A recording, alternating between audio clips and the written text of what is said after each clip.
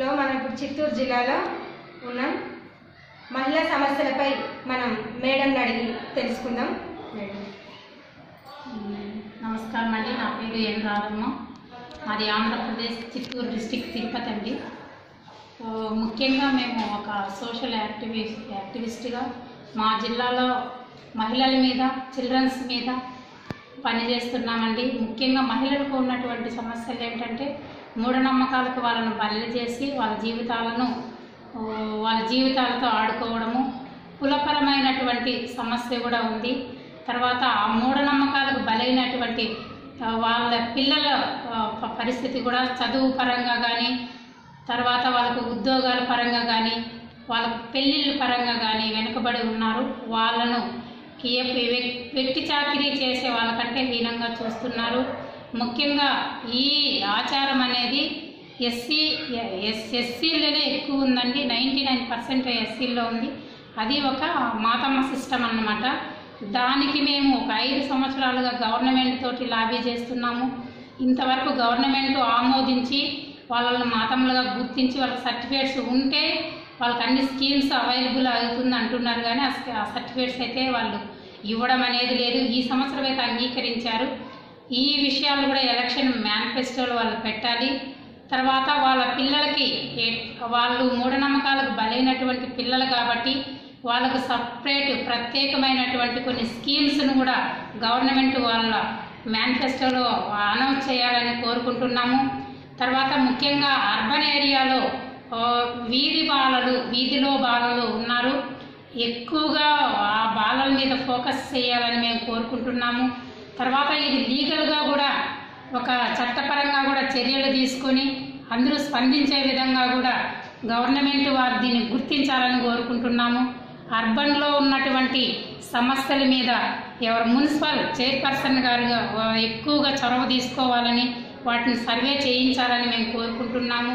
SC ST గ్రామాలలో ఉన్నటువంటి పిల్లల పిల్లలకు వాళ్ళ తల్లిదండ్రులకు పేదరిక నిర్మూలనకు వాళ్ళకు ఉన్నటువంటి అవకాశాలన్నిటినీ కూడా గవర్నమెంటు వాళ్ళని ఎక్కువ ఆఫీసులు చుట్టూ తిప్పించుకోకుండా వాళ్ళకు ఆ స్కీమ్స్ అన్నీ అందే విధంగా వాళ్ళ పిల్లలు చదువు కొనసాగించే విధంగా వాళ్ళు కులపరంగా సామాజిక పరంగా వెనుకబడి ఉన్నారు కాబట్టి ఆ సామాజిక పరమైనటువంటి వెనుకబాటుతనాన్ని అధిగమించి సమాజంలో కలవడానికి తన వంతు కృషి గవర్నమెంట్ చేయాలని నేను ఒక యాక్టివిస్ట్గా కోరుకుంటున్నానండి.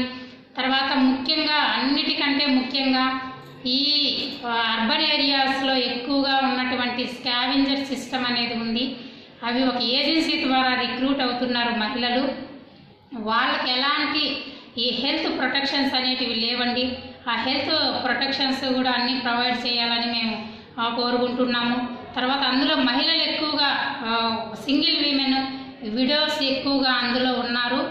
వాళ్ళకు కూడా తగినటువంటి వాళ్ళ పనికి తగినటువంటి జీతం అంటే ఒక హానరోరియంగా వాళ్ళకు అందించాలని వాళ్ళకు హెల్త్ కార్డ్స్ ఇష్యూ చేయాలని వాళ్ళకు ఫ్రీగా ట్రీట్మెంట్స్ వాళ్ళకి హెల్త్ పరంగా వాళ్ళకు గవర్నమెంట్ మేజర్గా వాళ్ళకు వచ్చేటువంటి వ్యాధులకు ఫ్రీ ట్రీట్మెంట్ అనేది ఇప్పించాలని వాళ్ళకు ఇంకా ఎక్కువగా మాకు తిరుపతిలో ఉన్నటువంటి సమస్య ఏంటంటే టీటీడీ ఆ కొండపైన ఉన్నటువంటి ఎక్కువగా అక్కడికే పోతారు కాబట్టి వాళ్ళకు ఫ్రీ పాసులు కూడా ట్రావెల్ పాసులు కూడా సప్లై చేయాలని తర్వాత వాళ్ళు లేబర్ యాక్ట్ ప్రకారం వాళ్ళకి జీతాలు పెంచాలని తర్వాత భవన కార్మికులకు కూడా భవన కార్మికుల్లో తర్వాత ఆ ఉన్నటువంటి వాళ్ళ పిల్లలకు కానీ స్కీమ్స్ అందించాలని భవన కార్మికులకు హెల్త్ స్కీమ్స్ మీద బడ్జెట్ పెంచాలని ఈ సంవత్సరము చిల్డ్రన్స్కి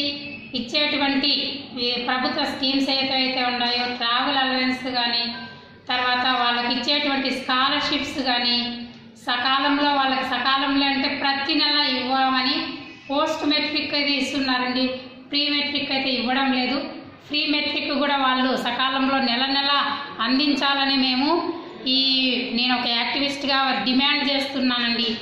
ముఖ్యంగా ఏవైతే ఉన్నాయో ఈ సామాజిక వర్గాలు అనేటువంటి విభేదం లేకుండా వాళ్ళ ఆర్థిక పరంగా అభివృద్ధి అవ్వడానికి కొన్ని చేస్తున్నటువంటి స్కీమ్స్ కానీ వాళ్ళకి అందిస్తున్నటువంటి పథకాలు కానీ ఎలాంటి రికమెండేషన్స్ లేకుండా కొన్ని రూల్స్ను సడలించి వాళ్ళకి ఇచ్చేటువంటి ఎస్సీ కార్పొరేషన్ ద్వారా ఇచ్చేటువంటి లోన్స్ కూడా కొన్ని రూల్స్ను సడలించి వాళ్ళకి అందే విధంగా గవర్నమెంట్ చర్యలు తీసుకోవాలని తర్వాత ఆ లోన్స్ తీసుకునేటువంటి ప్రాసెస్లో ఎలాంటి ఛాలెంజెస్ ఎదురవుతున్నాయో ఆ ఛాలెంజెస్ని అన్నిటినీ కూడా ఆ పై స్థాయికి జిల్లా స్థాయిలో ఉన్నటువంటి అధికారులు రాష్ట్ర స్థాయికి తెలియజేసి వాటిని ఆ రూల్స్ను కొంత సడలించాలని కూడా నేను కోరుకుంటున్నాను.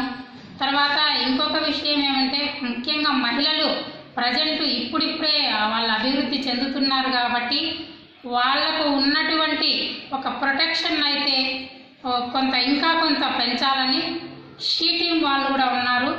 మహిళా రక్షక పోలీస్ స్టేషన్ ఉంది కాబట్టి వాళ్ళు కూడా రెగ్యులర్గా ఉమెన్కు ఎక్కడెక్కడైతే ఈ సులభలో కానీ పనిచేస్తున్నటువంటి దగ్గర కానీ ఈ అపార్ట్మెంట్లో పనిచేస్తున్నటువంటి మహిళలతో కానీ కొంత సెక్యూరిటీగా వాళ్ళకు సెక్యూరిటీ అనేది పెంచాలి. ఎందుకంటే పని చేస్తున్న దగ్గర హరాస్మెంట్స్ కూడా చాలా ఉన్నాయి. ఆ పని వదిలితే వాళ్ళకు ఉపాధి లేదు. తర్వాత మా అక్కడ చేయి చేయడానికి హరాస్మెంట్స్ అనేటివి ఎదుర్కొంటూ లోపల బయట చెప్పుకోలేనటువంటి పరిస్థితులు. వాటిని కూడా ఉమెన్ కూడా ముందుకొచ్చి తన సమస్యలని వాళ్ళకు వాళ్ళకి తెలియజేసి వాళ్ళు ఆ సమస్యలను ఎవరైతే చెప్పారో వాటిని వాళ్ళు కొంత గోప్యంగానే ఉంచుతున్నారు. పే పేరు అనేది బయట పెట్టడం లేదు కాబట్టి. మన సమస్యలు కూడా మనం పరిష్కరించుకోవాలంటే ప్రతి మహిళ కూడా తను ఓపెన్ అవ్వాలి. తన సమస్యను ఎవరికి ఏం చెప్పాలో అనేటువంటిది చెప్పాలని కోరుకుంటున్నాను.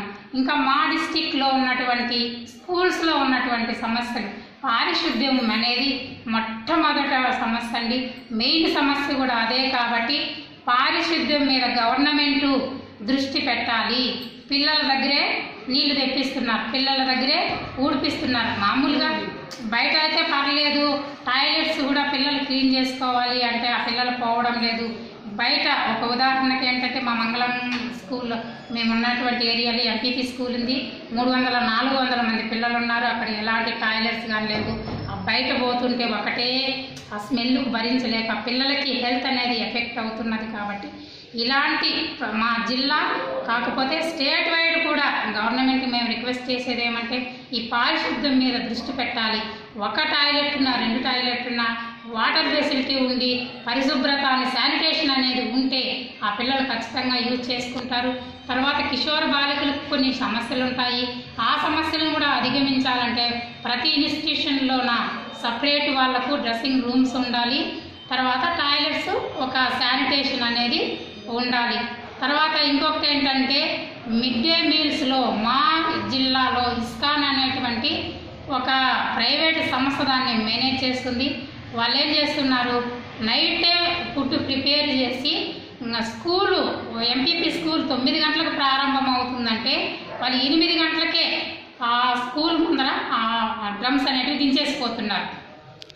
పిల్లలు పన్నెండు గంటలకు తినేటప్పటికి బాగా అన్నం మెత్తబడిపోయి ప్రతిరోజు ఆ లోకల్లో ఉన్నటువంటి ఈ బర్రెలు మేపే వాళ్ళు తెచ్చి దాన్ని గంపలు గంపలు వేసుకొని పోయి వాళ్ళు అవి బలుస్తున్నాయే కానీ పిల్లలకైతే ఈ ఫుడ్ అనేది అందడం లేదు. ఎందుకంటే ఇది స్పెసిఫిక్గా చెప్తున్నానంటే క్యారియర్లు తెచ్చుకుంటున్నారు. అంటే ఇళ్ళ దగ్గర ఉన్న వాళ్ళు చేసి పంపిస్తారు. అర్లీకి లేచి వెళ్ళిపోయి ఇలా పనులకు పోయే పిల్లలు అదే తినాల్సి వస్తుంది. ఆ ఫుడ్ తినలేక ఖాళీగా ఉండలేక వాళ్ళు